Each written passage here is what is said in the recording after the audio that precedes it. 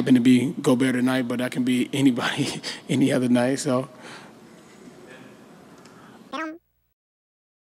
皆さんこんにちは、ダンクマンヨシです。というわけで今回の動画は前回の試合であまりにもウエストブルックがご機嫌だったということでその辺にフォーカスして見ていきたいと思います。そしてまだ登録してない方はこの際してくれると本当に嬉しいです。それでは本題です。いやもう本当に最近レイカーズの調子がいまいちでしかもそれに伴ってね、ウエストブルックの調子も全然上がってこなかったから最近はアメリカでもその彼に対する批判やアンチの声がすごくてもうウエストブルック大好きなダンクマンとしては早く早く挽回してみんなを見返してくれとずっとそう思ってました。ですが昨日のジャズ戦で彼が久しぶりにとてつもないダンクをぶちかましたということでまずは早速それを見ていきましょう。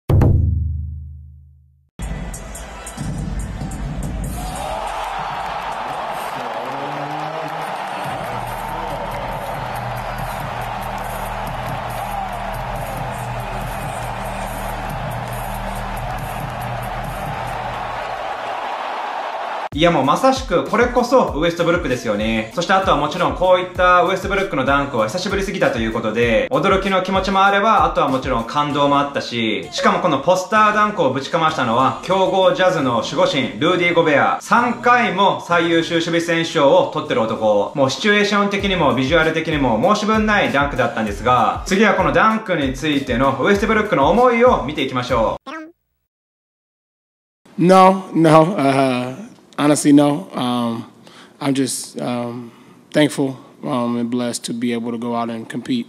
Um, and just as the season pro- prolong, um, plays like that, legs and stuff will be better uh, for me, and just finding a better rhythm. And um, you know, it happened to be Gobert tonight, but that can be anybody any other night. So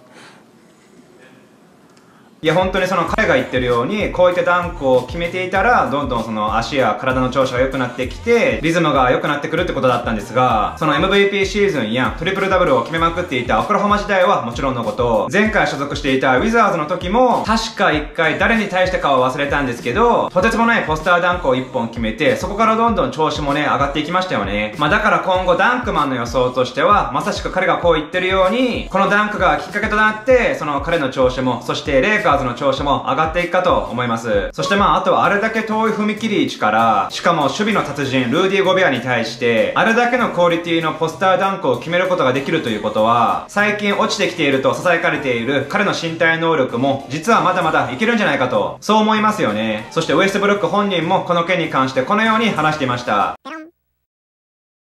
Russ, um, I think there was maybe a sense that people didn't maybe know if you still had that. In you. Um, yeah, that's people's problem. It, that's their problem. is, is that is, you just said it? Is that something though? Like, I mean, physically, like, how do your legs feel right now? Great. Um, and, is this something you feel like you're getting stronger? I guess. Yeah, man. You know, it's a long season. You know, I, I emphasized this early in the year. Like, I this game, I don't know what game is this, forty something, I don't know, fifty, whatever it is. But it's a long year, man. Um, it's year fourteen for me. I don't, you know. Um, people don't just want me coming out of the paint, taking off, and seeing if I still have my legs. But um, I know um, what I'm capable of and know what I'm capable of doing on the floor. So uh, when the moment presents itself and being able to uh, finish strong at the basket um, is still something I can do. So. いやだからウエストブルックとしてもまだまだ相手ダンクはできると。やっぱりそのジャンプ力って自分も極めようとしてたからすごくわかるんですけど、そのメンタル的な部分もかなり影響してくるんですよね。やっぱりその新しいチームに来て、スタッツもいまいちで批判ばっかり浴びまくっていたら、その自信もやっぱりなくなっていって、そのウエストブルックがギリギリでダンクを失敗しているシーンも目立ってましたよね。だけど、やっぱりこういった成功をきっかけに、どんどん自信もついていって、メンタル的にも、あ、俺はまだまだ相手ダンクもできるんだと、そういったマインドセットになっていくかと、現にこの試合のクラッチタイム一番大事なところでも、速攻から素晴らしいバスカンを決めてましたよね。よって今後のウエストブルックはどんどん良くなっていくかと、個人的には思っています。そしてあともう一つね、この試合中にラスが取っていたある行動が話題となっていたんですが、それがこちら。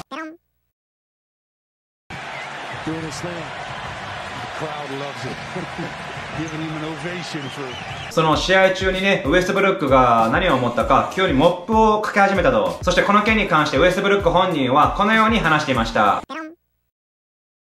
Hey Russ, I don't know if you saw, but a lot of people on social media were praising you. You know, here's this NBA superstar who picked up a mop and started mopping up the floor when that courtside fan spilled his drink. Can you walk us through sort of what was going through your head when you decided to do that? Which one? Uh, when you started mopping the floor when the fan Oh, drink. Yeah. Oh, um, I didn't even know what you were talking about. Uh, yeah, you know, the game has to prolong, and my, I, I feel like I can do everything. So, you know, if it's time to clean up the floor, then I don't see why not. You know, so that's what I, I thought at the time uh, to make sure I can can do it. It seemed like nobody else was doing it, so I was like, sure, I can do it.